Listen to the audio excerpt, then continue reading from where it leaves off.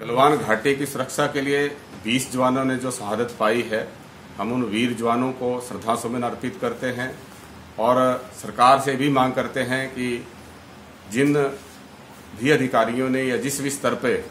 ये ऑर्डर दिया गया था कि निहत्थे फौजियों को वहाँ पे भेजा गया, उनके विरुद्ध कार्रवाई हो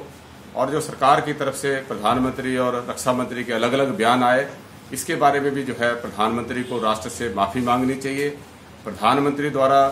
चीन को क्लीन चिट देना जो है अति निंदनीय है। इसके लिए भी प्रधानमंत्री जो है उनको सरकार पूरे इसकी जिम्मेवारी लेते हुए लोगों से इसकी जो है माफ़ी मांगनी चाहिए। और चीन का हमारे सामने उन्नीस सौ बासठ में जो उन्होंने धोखा दिया था,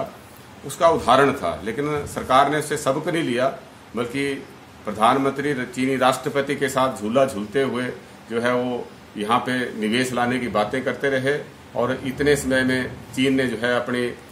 जो है शक्ति बॉर्डर पे बढ़ाकर हमें दोबारा से धोखा दिया। तो सरकार से हम मांग करते हैं कि इनके से चीन से आने वाले आयात के ऊपर प्रतिबंध लगाया जाए और जो चीनी कंपनियों ने हिंदुस्तान में ठेके ले रखे हैं, उनको रद्द किया जाए।